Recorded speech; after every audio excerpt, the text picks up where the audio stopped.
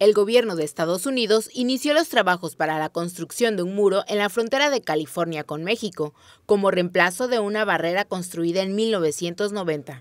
Autoridades estadounidenses señalaron que será una construcción con más de 3.2 kilómetros de barrera desde la ciudad de Calexico, California, que fronteriza con Mexicali, México.